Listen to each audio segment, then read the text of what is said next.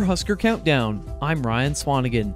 Historical, one of the many adjectives to describe this week's events that played out in the course of a Saturday, then followed by Monday and Tuesday. Controversies like this have happened before in the Nebraska football program, but at the end of the day, there is still a football season to be concerned with. UCLA has come and gone, leaving a gaping hole in the Nebraska defense and the offense to be very predictable.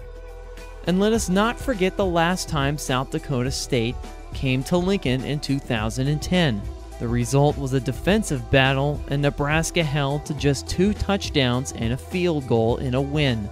Today, everyone has questions. How is the fan base going to sound at the Tunnel Walk? How will the Huskers perform after a very trying week? Who will be the starting quarterback this afternoon? And how will Nebraska handle the Jackrabbits this time around? Those answers are coming up at kickoff. But right now, this is Husker Countdown.